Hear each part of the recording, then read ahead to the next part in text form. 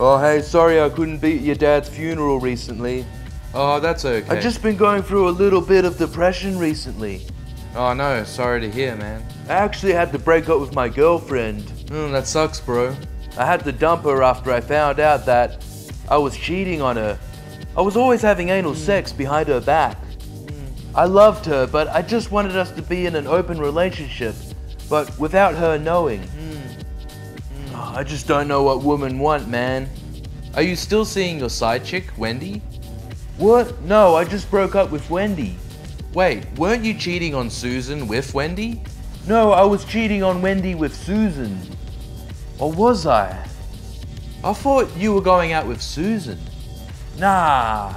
Or actually, I think I might have broken up with the chick I was cheating on her with instead. Didn't you meet Susan after Wendy? Hang on, shut up for a sec. Oh, I love this song.